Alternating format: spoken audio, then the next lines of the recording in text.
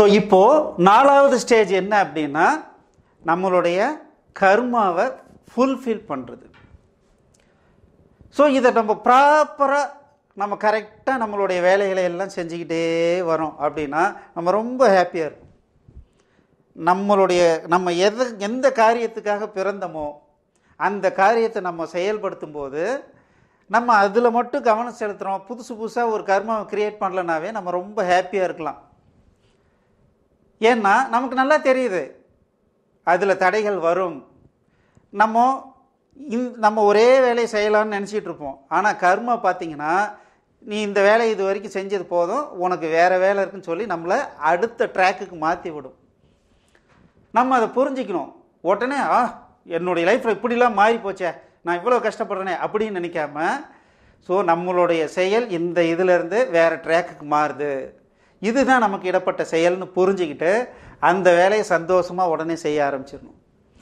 So இந்த மாதிரி செஞ்சுக்கிட்டே இருந்தோம்னா நம்மளுடைய லைஃப்பில் எப்போவுமே சந்தோஷம்தான். எவ்வளோ கஷ்டம் வரட்டும். யாரோ ஒருத்தன் வந்து திடீர்னு சம்மந்தம் இல்லாமல் நாலு நாலு அடி அடிப்பான். இல்லை ஏதோ ஒரு திட்டி போவான். அதுக்காக வருத்தப்பட வேண்டாம். அது ஏதோ இந்த பிரபஞ்சம் ஏதோ நம்மளை அடுத்த ட்ராக்ல கொண்டு போகிறதுக்கு ஒரு வேலை பண்ணுதுன்னு நம்ம புரிஞ்சுக்கிட்டோம்னா போதும். நம்ம எப்போவுமே ஹாப்பியாக இருப்போம். சரி இந்த மாதிரி வேலை செஞ்சுக்கிட்டே இருக்கும்போது இந்த உடலுக்கு ஒரு எண்டு இருக்குது இல்லைங்க. அதாவது பார்த்தீங்கன்னா இந்த உலகத்தில் அப்போ பிறந்தவன் இன்னும் இருக்கிறான் அப்படின்னு யாருமே இல்லை. எல்லாரும் மரணத்தை நோக்கி பயணம் பண்ணிக்கிட்டே இருக்கும். முதல்ல நம்ம அதை உணர்ந்துக்கணும். நமக்கு கண்டிப்பாக மரணம் உண்டு.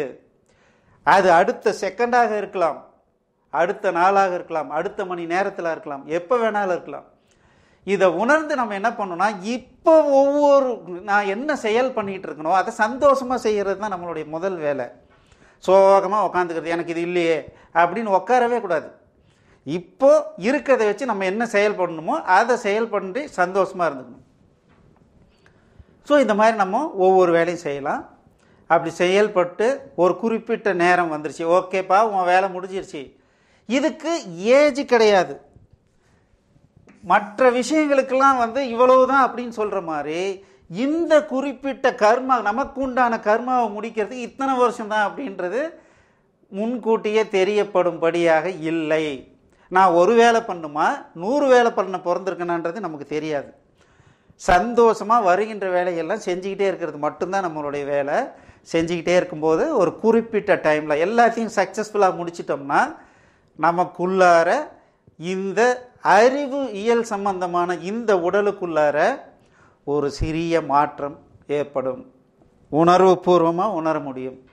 அந்த மாற்றம் ஏற்பட்டுருச்சுன்னா பிரம்மாண்டமான ஹாப்பி ஆயிடுவோம் பயங்கர ஹாப்பி ஆகிடுவோம் இதை எப்படி நம்ம தெரிஞ்சுக்கலான்னா ஒருத்தர் இறந்துருப்பார். அவரை பற்றி அவர் இறந்த வாட்டி பார்த்தீங்கன்னா சொல்லுவாங்க நல்லா பேசிக்கிட்டு இருந்தாருங்க. உடம்பு சரியில்லாமல் ஹாஸ்பிட்டல் போனார். ரொம்ப மோசமாக இருந்தார். பார்த்தா அன்னைக்கு இவ்வளோ பயங்கர சுறுசுறுப்பாக வர சிரிச்சு சிரித்து பழைய மாதிரி பேசிகிட்டு இருந்தார். நான் அப்படியேங்கப்பா சூப்பராக ரெடி ஆகிட்டாரே அப்படின்னு நினச்சிக்கிட்டு இருந்தேன். பார்த்தா இன்னைக்கு இறந்துட்டாரு அப்படின்னு சொல்லுவாங்க. இது என்ன அப்படின்னா நம்மளுடைய எல்லா விஷயங்களையும் கர்மாக்களையும் சரியாக முடிச்சிருந்தால் நமக்குள்ளார ஒரு இண்டிகேஷன் வந்துடும் தம்பி உனக்கு ரிலீஸ் இந்த உடம்புல இருந்து உனக்கு விடுதலை. அப்படின்ற ஒரு இன்டிமேஷன் வந்த உடனே நமக்குள்ளார மிகப்பெரிய ஹாப்பினஸ் வந்துடும் இருதயம் ஓப்பன் ஆகிடும் இருதயம் மறுபடியும் இருக்கிற எனர்ஜி எல்லாம் இருதயத்துக்கு போய் ரொம்ப ஹாப்பியாக இருக்கும். அப்படி ஹாப்பியாக இருக்கும்போது என்ன பண்ணோம் அப்படின்னா நம்ம எல்லாருக்கிட்டையும் சந்தோஷமாக பேசுவோம். இதை என்னன்னு சொல்கிறாங்கன்னா மேக்ஸிமம் த்ரீ டேஸ் இந்த ஒரு இண்டிகேஷன் வந்த உடனே நம்ம ரொம்ப சந்தோஷமாக இருப்போம்.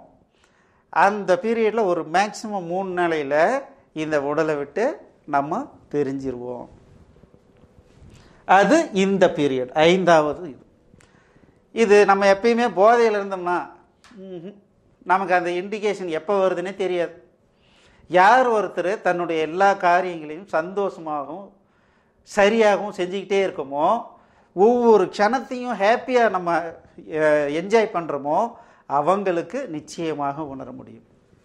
இதை முடிஞ்சு அடுத்த ஸ்டேஜுக்கு போகிறாங்க சார். அடுத்த ஸ்டேஜில் என்ன நடக்குது? இப்போ உயிரோடு இருக்கோம் மரணம் அடைஞ்சு அடுத்த ஸ்டேஜுக்கு போகிறோம் நம்ம அந்த மரணத்தை உணர முடியுமா அப்படின்னா யாராலையும் உணர முடியாது. அதை உணரணும் அப்படின்னா மிகப்பெரிய பிரயத்தனம் மிகப்பெரிய ப்ராக்டிஸ் எல்லாம் இருக்குது அப்படி இல்லாதவர்களுக்கு இந்த உடலிலிருந்து வெளியே போகும்போது ஒரு மயக்கம் வந்துடும் அன்கான்சியஸ் ஆயிரும். திடீர்னு பார்த்தீங்கன்னா அந்த உடலுக்குள்ளார நம்ம இருக்க மாட்டோம். வெளியே போயிடும்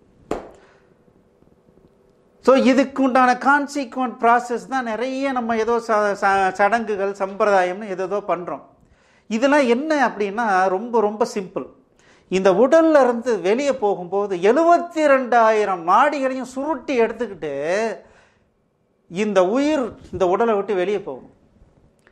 நீங்கள் ஏதாவது ஒரு ஒரு குருவி ஒரு சிறிய உயிர் ஒரு பூனைக்குட்டி ஒரு நாய்க்குட்டி உங்கள் கையில் இருக்கும்போது உயிர் விட்டுச்சுன்னு வச்சுக்கோங்களேன் நீங்கள் மிகப்பெரிய குடுப்பினம் உங்களுக்கு இருக்குன்னு அர்த்தம். அப்பேற்பட்ட எக்ஸ்பீரியன்ஸ் கிடைக்கும் உங்களுக்கு.